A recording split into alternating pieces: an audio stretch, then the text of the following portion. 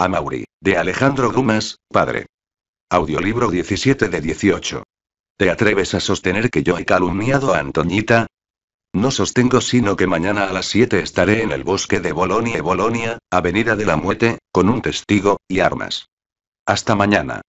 Mejor hasta la noche. Pues hoy es jueves, día de recepción en casa de Antoñita, y por nada me privaría de verla. Está bien. A la noche la veremos, y mañana nos veremos. Dicho esto, Amaury se alejó furioso y regocijado al mismo tiempo. Él en nunca Felipe había pasado una velada tan feliz y a la vez tan dolorosa como lo fue aquella para él. Feliz, porque Antoñita no tuvo sino dulzura y amabilidad para su adorador, y dolorosa por la perspectiva de aquel lance a que le arrastraba a Mauri. Gracias a que algo se lo hacía olvidar la incesante y gratísima conversación de Antoñita.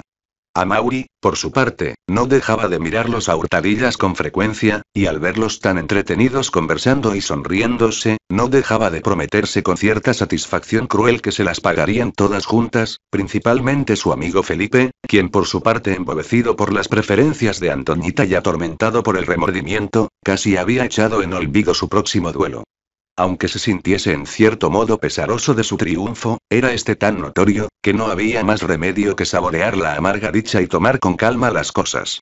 No dejaba de pensar a cada coquetona sonrisa de Antoñita que acaso a la mañana siguiente le costaría demasiado cara. Pero aún así le parecía deliciosa, tanto como terrible la primera que el adversario le lanzaría sobre el terreno y que él veía con toda realidad en su imaginación. Estaba escrito que el calavera sería infiel a la memoria de la pobre muerta, pues el recuerdo de Magdalena en lo pasado y la visión del fúnebre porvenir que le preparaba la venganza de Amauri se fueron esfumando tras del gozo que le producía su triunfo del presente, y no se volvió a dar cuenta exacta de su nada envidiable situación hasta que llegado el momento de retirarse, Antonita le tendió la mano dándole las buenas noches de una manera encantadoramente afectuosa. Sobrecogido entonces por un triste presentimiento aquella mano que acaso no volvería a estrechar la besó repetidas veces mientras con visible agitación y de un modo incoherente decía. Señorita, cuánta dicha. Su amor, su bondad, prométame que si mañana sucumbo pronunciando su nombre me dedicará un recuerdo, una lágrima, una palabra de compasión. ¿A qué se refiere usted? ¿Qué quiere usted decir? preguntó Antoñita, sorprendida y asustada. Felipe no contestó, contentándose con dirigirle una patética mirada, y salió en trágica actitud, con sentimiento de haber hablado demasiado. Antoñita, que no podía permanecer indiferente después de lo que había oído, pues comprendía que algo muy grave indicaban las incoherentes palabras de Felipe, dirigióse a Mauri presurosa y cuando éste tomaba el sombrero para retirarse, y sin aparentar inquietud pero con el firme propósito de conjurar cualquier peligro que por parte de Amaury pudiese amenazar a su preferido, le dijo. No olvide usted que mañana es el primero de junio, y debemos ir a visitar a mi tío. No lo he olvidado, contestó a Mauri. Entonces nos encontraremos allí como de costumbre. A las diez, ¿no es así? Sí, a las diez repitió distraídamente a Mauri. Pero si no pudiese ir hasta las doce, yo le rogaría que dijese usted a su tío que tal vez me retenga en París algún asunto urgente. Estas palabras fueron dichas con tan fría entonación que Antoñita no pudo menos de estremecerse. Pero no dijo palabra, y acercándose al conde de Mengis le rogó que permaneciese aún en la casa unos cuantos minutos. Así lo hizo el conde, y cuando Antoñita pudo hablarle a solas, le enteró de las palabras de Felipe, de las reticencias de Amauri, y de sus tristes presunciones. No dejó de alarmarse el conde al relacionar lo que acababa de oír con algo que había oído de boca de Amauri aquella misma mañana. Pero prudentemente ocultó su zozobra para no aumentar los temores de Antoñita, y afectando una tranquilidad que estaba muy lejos de sentir, prometió que al día siguiente se ocuparía de tan importante asunto, avistándose con aquel par de insensatos. En efecto, muy de mañana, mandó enganchar y se hizo conducir a escape a casa de Amauri, a quien no encontró, le dijeron que acababa de montar a caballo y que, haciéndose seguir tan solo de su groom inglés, había partido con tal precaución y silencio que ni siquiera dejó dicho a dónde iba. Al conde le faltó entonces tiempo para lanzarse en busca de Felipe. Pero tampoco le halló en casa. Solo vio al portero, de pie en el umbral de la puerta, refiriéndole a un su amigo, que, una hora antes, había visto salir al señor de Aubray junto con su procurador, y que éste, en vez del consabido rollo de papel sellado, que era la característica de su grave personalidad y profesión, llevaba bajo el brazo aquel día un par de espadas y una caja de pistolas. Este relato hubo de repetirlo el bueno del portero en obsequio al conde, añadiendo finalmente que el señor de Aubray y su acompañante habían tomado un simón, y que él les oyó dar esta orden a la orilla. Volando al bosque de Bolonia, avenida de la muerte. El conde no quiso saber más. Repitió estas señas a su cochero y partieron al galope. Pero eran ya las seis y media y la cita se había pactado para las siete. Era un contratiempo muy sensible. Lee efectivamente, daban las siete en punto cuando Felipe y su apoderado, que le acompañaba en calidad de testigo, llegaban a la muerte, descendiendo de su alado vehículo. Casi en el mismo instante, fieles a la consigna, Mauri y su amigo Alberto se presentaban también en el lugar de la acción, aquel apeándose de a caballo, y saltando de su elegante cabriolé el otro. No tardaron en ponerse a discusión las condiciones del duelo. El amigo de Felipe, que estaba algo avezado a esos trotes, acortó mucho los preparativos. En su concepto su apadrinado era el ofendido, y como tal tenía derecho a la elección de armas. Debían, a mayor abundamiento, servirse de las espadas o pistolas que, a prevención, habían llevado Felipe y él. Alberto, advertido de antemano por Amauri para que accediese a todas las peticiones de la parte contraria, aunque rayaron en exigencias, se avino desde luego a todo, sin oponer más objeciones que las que son de rigor en tales casos. Convínose, pues, en que el encuentro se verificaría a espada y con las propias armas de Felipe, dos espadas militares magníficas. Una vez puestos de acuerdo Alberto y el procurador, aquel ofreció a este un cigarro de su preciosísima petaca, pero viendo que rehusaba la fineza, púsose a encender tranquilamente su habano y luego, acercándose a Mauri, díjole sin recatar la voz y como para vengarse del desaire curialesco. Ea, ya está todo listo y a punto. El duelo va a ser a espada. Con qué buena mano y no te dé lástima ese pobre diablo. Mauri sonrió e hizo un saludo. Quitóse el sombrero, que depositó en tierra. Despojóse del frac, el chaleco y los tirantes, y al serle entregada el arma volvió a saludar con verdadera elegancia, sin pizca de afectación. Felipe le imitó en todo con simiesca exactitud, pero al tomar la espada lo hizo en tan ridícula y deplorable forma que pareció que recibía un bastón. Los dos se aproximaron simultáneamente, cruzáronse los aceros a seis pulgadas de la punta y luego de separarse un tanto los padrinos a derecha e izquierda respectivamente, comenzó la brega enseguida que se oyó la frase sacramental. Pueden empezar, caballeros. Ni corto ni perezoso, Felipe fue el primero en tirarse a fondo con intrépida torpeza, que Amauri aprovechó para darle un bote y desarmarle, arrancándole de la mano el arma, que fue a parar buen trecho lejos de su dueño. ¿Le hacía a usted algo más diestro? Felipe dijo a Mauri con tono irónico, no exento de amargura, porque en el fondo le repugnaba aquella superioridad que no deseaba. Perdone usted, repuso su adversario, me parece haberle dicho antes algo de eso. Desconozco el manejo de la espada. Siendo así, que nos traigan las pistolas, replicó a Mauri, hay que nivelar las fuerzas. A Mauri intervino Alberto por oficiosidad, ¿estás realmente decidido a seguir adelante? Pregúntaselo más bien a Felipe. Alberto comprendió la indicación y dirigiéndose solamente a su adversario repitió la pregunta. Pues no he de querer continuar. Prorrumpió Felipe, a Mauri me ha ultrajado y, a menos que no me dé amplias explicaciones, no cejaré en mi empeño. Pues bien, yo me lavo las manos, contestó Alberto. He pretendido evitar el derramamiento de sangre. Mas ante tal obstinación hay que bajar la cabeza. Pueden, pues, acribillarse, ya que ese es su gusto. A una seña suya se le acercó el grunde a Mauri, le entregó el cigarro y púsose a cargar flemáticamente las pistolas. A todo esto a Mauri se paseaba entretenido en hacer saltar con la punta de la espada los botones de oro de las margaritas silvestres. Alberto exclamó de pronto volviéndose hacia su amigo puesto que este caballero es el insultado supongo que disparará primero. Claro. Repuso Alberto, impávido, sin cesar en su operación. A Mauri, con la misma calma, tornó a su pueril tarea de arrancarles el corazón de oro a las inocentes florecillas. Colocado que hubo las armas, Alberto entró en negociaciones con el procurador de Felipe, conviniendo ambos en que los dos adversarios se colocarían a 40 pasos de distancia pudiendo avanzar cada uno hasta 10, lo que reducía el trayecto a 20 pasos. Después de fijar en el suelo dos bastones a fin de señalar el punto de parada a cada uno de los combatientes, separáronse los padrinos, que al llegar a su respectivo puesto dieron las tres palmadas de rúbrica, para indicar a aquellos que podían avanzar. No bien adelantaron cuatro pasos, Felipe disparó. A Mauri no hizo el menor movimiento. Solo Alberto dejó caer el cigarro y corrió a buscar su sombrero. Extrañado Mauri e inquieto por la dirección que, según suponía, había tomado la bala, preguntó a su amigo.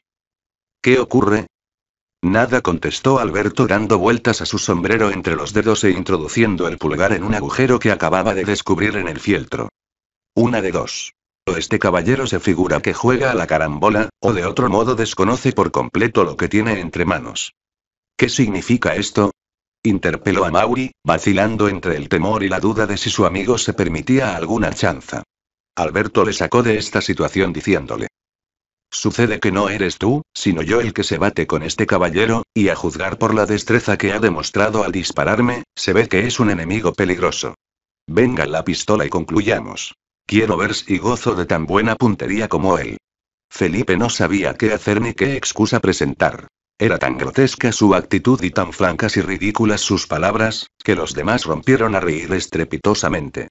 Vino a sacarle al pobre Felipe de aquel apuro un coche que, apareciendo por una avenida transversal al trote largo, se detuvo en la de la muerte, al mismo tiempo que asomando medio cuerpo por la portezuela, gritaba un caballero con toda la fuerza de sus pulmones. Alto, señores, alto. Deténganse ustedes. Era el anciano conde de Mengis, a quien reconocieron al punto Felipe y a Mauri. Este arrojó el arma y se acercó a Alberto, quien a su vez acercóse a Felipe, el cual aún conservaba la pistola descargada en la mano. Diantre, señor de Aukray, deme usted pronto esa arma. exclamó el procurador, existe una ley contra los desafíos. Felipe se la entregó maquinalmente, mientras se deshacía en protestas exageradas para convencer a Alberto de que si le había agujereado el sombrero había sido sin intención deliberada, soberbia carrera acabo de emprender por vuestra culpa, caballeritos. Dijo el conde bajando del coche. Adiós gracias llego a tiempo de evitar un desastre. Porque supongo que la detonación que acabo de oír no ha tenido consecuencias. Salvo el orificio que mi torpeza ha abierto en el sombrero de este señor, dijo humildemente Felipe, no ha sido nada. Y aun ello se debe a mi falta de maestría en el manejo de las armas. Pero, ¿se ha batido usted con este caballero? preguntó asombrado el conde. No, señor, con Amaury. Pero sin duda se me ha desviado el cañón y sin saber cómo el proyectil, dirigido a Amaury, ha estado a punto de matar a este caballero. El conde juzgó que era hora de tratar en serio un negocio que le parecía muy grave. Así, dijo cambiando de tono.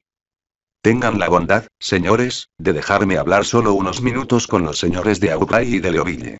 Alberto y el procurador se inclinaron, alejándose a una discreta distancia para que se quedaran solos los tres. ¿Cómo así, señores? dijo el de Mengis a los jóvenes, ¿por qué han llevado a cabo ese duelo? Usted no me prometió esto, a Mauri. Le ruego que me diga el motivo que le indujo a tener ese encuentro con Felipe, faltando a su palabra. Felipe comprometió a Antoñita, y por eso me bato con él. ¿Y usted, Felipe, por qué causa se batió con su amigo? Porque a Mauri me ha ofendido gravemente. Repito que usted estaba comprometiendo a Antoñita, y por eso le he insultado. El propio señor conde me advirtió que... Dispénseme, señor Aubray, le suplico me deje decirle dos palabras a Mauri. Y bien, señor conde. No se aleje usted mucho. Tengo que hablarle también. Felipe saludó y se apartó unos pasos. Usted no me comprendió, por lo visto, a Mauri dijo el conde al quedar solo con este, Felipe no era el único que comprometía a Antoñita. ¿Cómo? exclamó a Mauri. ¿Hay otra persona que se haya atrevido? Desgraciadamente, sí, y esa otra persona es usted, a Mauri. Felipe comprometía a Antoñita con sus paseos a pie y usted con los suyos a caballo. ¿Qué dice usted? exclamó a Mauri, ¿es posible que alguien sospechara siquiera que yo quería a Antoñita? No ha faltado quien haya hecho esta conjetura. Sepa usted que mi sobrino, único pretendiente formal a la mano de la señorita de Valgueceuse, se ha retirado, no por ceder el terreno al señor de Aukray, sino por usted, amigo mío. ¿Por mí? murmuró a Mauri, aterrado, por mí. ¿Qué le extraña a usted? ¿Dice usted que su sobrino se retira ante mí? En efecto, como no declare usted de un modo categórico que no abriga pretensión alguna a la mano de Antoñita. Haré más, si es preciso, repuso a Mauri violentándose interiormente, soy pronto en mis decisiones. Antes de anochecer sabrá usted si fui digno de la confianza que depositó en mí y si merezco el consejo que ahora mismo me está dando. E hizo un ademán de retirarse, después de dirigir un saludo al conde. ¿Se va usted sin decir nada a Felipe? Insinuó el anciano, deseando que terminase allí el lance. Cierto. Le debo una satisfacción y voy a dársela, dijo a Mauri. Felipe, acérquese usted, dijo el conde. Querido amigo, continuó a Mauri dirigiéndose a Felipe, después de haber disparado contra mí o con esta intención al menos, debo decirle que siento infinito la ofensa que haya podido inferirle y que ha motivado el lance. Amigo Amauri, repuso Felipe estrechándole francamente la mano, no he pretendido matarte, ni siquiera agujerear el sombrero de tu amigo, percance que yo lamento en el alma. Muy bien, muy bien, exclamó satisfecho el conde. Así se hace. Desde hoy, a seguir siendo siempre buenos amigos. Se acabaron las rencillas. Los aludidos se estrecharon efusivamente las manos. Señor conde dijo luego a Mauri, me parece haberle oído decir que tenía que hablar con Felipe. Yo me marcho para poner en práctica la idea que he concebido. Dicho esto saludó y se retiró con lentitud, como si en su ánimo influyese la gravedad del paso que iba a dar. Habló un instante con Alberto, a quien tuvo presente su agradecimiento, montó a caballo y se alejó al galope. Ahora que podemos hablar con entera franqueza, puesto que estamos solos, dijo el conde a Felipe, le diré a usted que Amauri tenía razón al juzgar su conducta como comprometedora para Antoñita. Tan cierto es esto, que con otra, aventura como esta, difícilmente lograría casarse, aun contando con una belleza y una fortuna como las que ella posee. Señor conde, contestó Felipe, hace poco he confesado mi culpa y ahora lo hago de nuevo. Suelo titubear mucho antes de tomar una resolución, pero así que me decido no hay nada capaz de detenerme en mi propósito. Ya sé cómo debo reparar mis hierros. Caballero, tengo el honor de presentarle mis respetos. ¿Qué se propone usted hacer? Preguntó el conde de Mengis, temeroso de que Felipe se dispusiese a cometer alguna nueva simpleza. No le dé a usted cuidado, señor conde. Yo le aseguro que quedará contento de mí. Y después de saludarle con gravedad se separó del anciano, para ir a reunirse con su padrino. Amigo mío, dijo a este, es necesario que se vaya usted a pie hasta la barrera de la estrella o que apechugue con el ómnibus, pues yo necesito el coche para una carrera más larga que todo eso. Eh. Caballero, Alto ahí. exclamó Alberto, que aún conservaba en la mano la pistola de Amauri, ¿será usted capaz de irse sin que dispare contra usted? Ah. Es verdad, se me olvidaba. Perdone usted, caballero, ¿quiere usted medir la distancia? No hay necesidad, repuso Alberto, ya está usted bien ahí mismo. No se mueva. Felipe se quedó parado y tieso como un poste al ver que Alberto le apuntaba. ¿Qué va usted a hacer? Exclamaron corriendo hacia él, el procurador y el conde de Mengis. Pero no tuvieron tiempo de impedir que disparara. Sonó el tiro y el sombrero de Felipe rodó sobre la hierba, con un agujero en el mismo sitio en que lo tenía, el de Alberto, horadado, como sabemos, por la bala de Felipe. Ahora estamos en paz, dijo riendo Alberto, puede usted irse, cuando guste, a sus quehaceres. Aubrey saludó, recogió su sombrero, saltó al Simón, dijo algunas palabras al cochero, y el pesado vehículo partió por el camino de Boulogne. Alberto ofreció al procurador un cigarro y un asiento en su Tilbury, e inútil es decir que el curial aceptó ambas cosas. El conde, por su parte, dirigióse al otro extremo de la avenida en donde le aguardaba su carruaje, y al tiempo de montar en él murmuró, a fe mía, bien puede afirmarse que la generación llamada a suceder a la nuestra, es una generación de necios o de dementes. Lee serían las diez y media de aquella misma mañana, es decir, una hora después de los sucesos que acabamos de narrar cuando Amaury se apeaba de su caballo a la puerta del doctor Abrigny, en el mismo instante en que también se detenía ante ella Ticoche de Antoñita. La joven, al ver a Mauri que le ofrecía la mano para ayudarla a echar pie a tierra, no fue dueña de contener un grito de alegría, al mismo tiempo que sus pálidas mejillas, se teñían de un vivo rubor. A Mauri. Usted aquí. Dios mío. Qué pálido viene. ¿Está usted herido? No, Antoñita. Tranquilícese usted, contestó a Mauri, nadie ha resultado herido. Ni Felipe ni yo, ¿Cuál es, pues, la causa? interrumpió Antoñita de ese aire tan sombrío y tan meditabundo. Tengo que hablarle a su tío de asuntos muy importantes. Ay. También yo, dijo Antonia suspirando. Subieron en silencio y precedidos por José entraron en la estancia donde el doctor los aguardaba. Al verle no fueron dueños de reprimir una demanda de sorpresa y cambiaron una mirada llena de secretos temores. Le encontraban tan ajado, tan decrépito. Pero él estaba tan tranquilo como ellos alarmados. el que iba a abandonar este mundo se disponía a hacerlo con júbilo, y en cambio estaban tristes los que aquí quedaban. Por fin veo a mis hijos. exclamó besando en la frente a Antonia y estrechando la mano a Mauri, cuán impaciente estaba y qué grande es ahora mi satisfacción por la dicha que el cielo me depara. Quiero que unos a otros nos consagremos este día y no nos separemos hasta la noche, pero, ¿qué pasa? ¿A qué viene ese aire tan contristado? ¿Será por verme próximo ya a terminar mi viaje? Oh. Pensamos conservarle aún mucho tiempo, respondió a Mauri, sin acordarse de que hablaba a un hombre distinto de los demás, pero yo tengo que hablarle de cosas muy importantes y creo que también Antonita quiere hablar con usted de algún asunto grave. Muy bien. Pues aquí estoy, repuso el señor de Abrigny, revistiendo de seriedad su semblante y mirándoles con cariñoso interés. Tú, Amaury, siéntete en esa silla, a mi derecha, y tú, Antoñita, ocupa esa butaca a este otro lado. Ajaja. Ahora, vengan las manos. No es verdad que estamos muy bien así, con un tiempo tan hermoso, bajo un cielo tan puro, y a dos pasos de la tumba de nuestra inolvidable Magdalena, los dos jóvenes miraron instintivamente hacia el cementerio como queriendo pedir a aquella tumba el valor que les faltaba. Pero ambos guardaron un religioso silencio. Ea. Dijo el doctor, ya escucho. Comienza tú, Antonita. Pero, tío. Suplicó la joven con embarazo. Ya comprendo, Antonita repuso a Mauri, abandonando su asiento, perdone usted. Me retiro y salió del aposento, acompañado por una afectuosa mirada del doctor, sin que Antonia, muy ruborosa y turbada, intentase detenerle. Ya estamos solos, hija mía. Puedes, pues, hablar. ¿Qué quieres? dijo el señor de Abrigny tan pronto como hubo salido a Mauri. Tío mío, respondió Antonita con voz temblorosa y sin alzar la vista para mirar al doctor, siempre le he oído decir que deseaba verme unida a un hombre cuyo amor me hiciese dichosa. Mucho tiempo he vacilado antes de hacer mi elección, pero al fin me he decidido. No se trata de una proporción brillante, pero estoy segura de ser amada y de que sabré cumplir sin esfuerzo con mis deberes de esposa. Usted conoce muy bien al hombre que he elegido por marido. Es, prosiguió Antonita con voz ahogada lanzando una furtiva mirada al sepulcro de Magdalena como si quisiera pedirle aliento para hacer tal confesión, es, Felipe Aubray. Mientras hablaba Antonia, contemplábala el doctor sin querer interrumpirla. Pero entreabría sus labios una benévola sonrisa y parecía tentado a hacerle alguna advertencia. ¿Con qué, Felipe Aubray?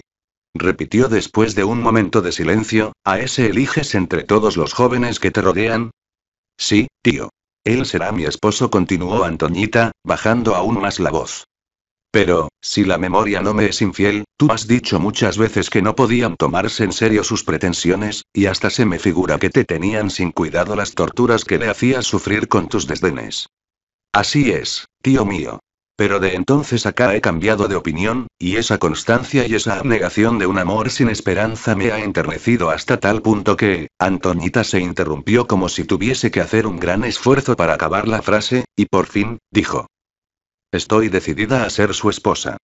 Está bien, Antonita dijo el señor de Abrigny, y puesto que esta es tu resolución, sí, padre mío, esa es mi resolución inquebrantable, contestó la joven pugnando en vano por contener los sollozos que la ahogaban. Hágase tu voluntad, hija mía, ahora, déjame un momento a solas para que entre a Mauri, que también parece que tiene que decirme algo importante. Ya te llamaré después. Y el doctor despidió a su sobrina estampando un prolongado beso en su frente virginal. Liria sí que salió Antoñita, el señor de Abril me llamó a Mauri en voz alta. Ven, hijo mío, díjole al verle entrar, y dime tú también lo que tengas que decirme. En dos palabras voy a decirle a usted, no lo que me ha traído a verle, pues lo que me trae aquí es el deseo de aprovechar este único día que nos concede en un mes, sino el asunto de que tengo que hablarle, Habla, hijo mío, habla, dijo el doctor reconociendo en la voz de Amaury los mismos síntomas de turbación que ya había reconocido en la de Antonia. Habla. Te escucho con toda mi alma. Señor, continuó Amaury, a pesar de mi juventud ha querido usted que le reemplace cerca de Antoñita. Me ha nombrado, en fin, su segundo tutor. Sí, porque veía en ti una amistad de hermano para con ella. También me invitó a que buscase entre mis amigos algún joven noble y rico que fuese digno de ella. Es verdad. Pues bien, siguió diciendo a Mauri. Después de haber pensado maduramente en el hombre que convenía a Antoñita por su nombre y su riqueza, acabo de pedir la mano de su sobrina para. Amaury se detuvo sin aliento. ¿Para quién? Preguntó el doctor mientras Amaury se afirmaba en su resolución, dirigiendo una larga mirada hacia el cementerio. Para el vizconde Raúl de Mengis dijo Amaury. Está bien, dijo el doctor, la proposición es grave y merece tomarse en consideración. Volviéndose enseguida exclamó. Antoñita. Esta abrió tímidamente la puerta. Ven acá, hija mía, dijo alargándole una mano, mientras que con la otra obligaba a Mauri a permanecer en su asiento. Ven y siéntate aquí. Ahora dame tu mano. A Mauri ya me ha dado la suya. Antoñita obedeció. El doctor miró con gran ternura a ambos, que mudos y trémulos aguardaban, y después besóles en la frente, diciendo. He podido contemplar dos corazones generosos, y me alegro de lo que pasa. Pero, ¿qué sucede? Preguntó temblando Antoñita. Sucede que Amaury te ama y que tú amas a Amaury. Los dos lanzaron un grito de sorpresa, y quisieron levantarse. Tío mío. Dijo Antoñita. Señor. exclamó el joven. Hay que dejar hablar al padre, al anciano, al moribundo, contestó el doctor con extraña solemnidad, sin interrumpirle. Y ya que estamos los tres reunidos como hace nueve meses en el momento en que Magdalena acababa de expirar, voy a trazar la historia de ese amor en este tiempo. He leído lo que tú has escrito, Amaury. He oído lo que tú has dicho, Antoñita. Todo lo he observado y estudiado bien en mi soledad y después de la vida agitada que Dios me ha dado. Conozco no solamente las enfermedades, sino también las pasiones, que son dolores del alma. Así es que repito, y esta es una felicidad por lo cual me felicito, que es real y verdadero ese amor. Y para que no haya dudas voy a probarlo ahora mismo. Los dos jóvenes permanecieron como petrificados. El doctor continuó. Amaury, tienes un corazón muy noble y un alma leal y sincera. A raíz de la muerte de mi hija, estabas firmemente resuelto a suicidarte y al marchar concebiste la esperanza de morir. En tus primeras cartas se veía un profundo hastío de la vida. Nada mirabas sino dentro de ti mismo, no fijabas la atención en lo que te rodeaba, pero, después, poco a poco los objetos exteriores han acabado por interesarte, el don de admirar, el entusiasmo, que tiene raíces tan vivas en las almas de 20 años, han principiado a renacer y reverdecer en tu pecho. Entonces te cansaste de la soledad y pensaste en lo venidero, tu naturaleza tierna ha llamado vagamente y sin darte tu cuenta de ello, al amor, y como eres de esos hombres en quienes los recuerdos ejercen un poder sin límites, la primera figura que ha aparecido en tus sueños, ha sido la de una amiga de tu infancia. Precisamente la voz de esta amiga era la única que llegó hasta ti durante el destierro, y como las palabras que decía eran dulces y seductoras, te dejaste arrastrar por tus secretas esperanzas. Volviste a París, a ese mundo con el cual creías hace nueve meses haber roto para siempre.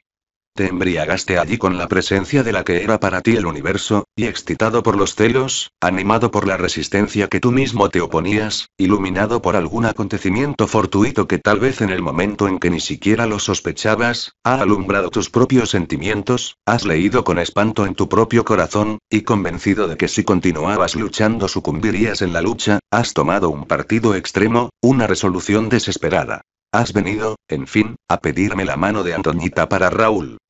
¿Mi mano para Raúl? exclamó Antonia. Sí, para Raúl de Mengis, que sabías que ella no amaba, con la vaga esperanza tal vez, de que en el momento de que propusiera este casamiento, había de confesar que te amaba. Amaury cubrióse el rostro con las manos, y lanzó un gemido.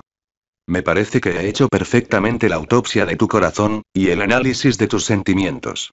Enorgullécete, Amaury, porque esos sentimientos son los de un joven honrado y tu corazón es hidalgo. Oh, padre mío, padre mío. exclamó Amaury en vano trataríamos de ocultarle algo. Nada se escapa a su mirada que, como la de Dios, sondea los más secretos pliegues del alma. Por lo que atañe a ti, Antonita continuó el doctor, ya es otra cosa. Tú amas a Amaury desde que le conociste. No hay por qué negarlo, hija mía, agregó, al ver que Antonia se estremecía e inclinaba la frente como tratando de ocultar su rubor, ese amor oculto ha sido siempre demasiado sublime y generoso para que te avergüences de él. Tú has sufrido mucho. Celosa e indignada contra ti misma por tus celos, hallaste una tortura y un remordimiento en lo que hay de más santo en el mundo, en un amor virginal. Mucho has sufrido y sin un testigo de tu pena, sin un confidente de tus lágrimas, sin un sostén de tu debilidad que te gritase. Ánimo. Eso que has hecho es grande y hermoso. Una persona, sin embargo, contemplaba, y admiraba tu heroico, silencio. Esa persona era tu anciano tío, que muchas veces ha sentido asomarse las lágrimas a sus ojos y ha abierto los brazos dejándoles caer luego con un suspiro. Y hasta cuando Dios llamó a su rival, audiolibro generado por Leer con los oídos.